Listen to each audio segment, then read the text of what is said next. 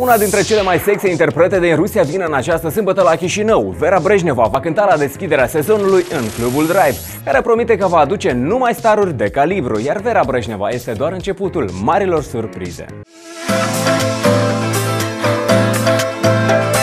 E super sexy, e blondă, e talentată și în acest weekend vine la Chișinău. Da, e vorba despre Vera Brejneva, fosta solistă a trupei Viagra.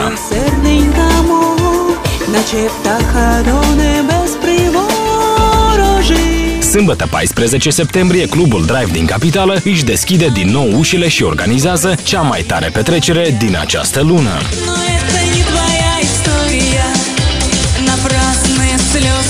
De fapt, Brejneva este pseudonimul sub care s-a lansat în muzică, numele său real fiind Galușca. Pseudonimul i-a fost dat de producătorul Dmitri Costiuc, când acesta a aflat că Vera este originară din același oraș cu liderul Uniunii Sovietice Leonid Brejnev. Vera nu este doar o artistă de succes, dar și mamă a două fete, Sonia și Sara.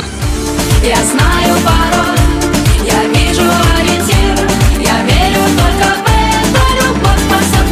este pentru prima dată când Vera Brejneva întâlnește moldoveni, ea având mare succes cu piesa Lipistkami Slioz, interpretată în duet cu Dan Bălan, cu care presa a scris că ar fi trăit și o furtunoasă poveste de amor.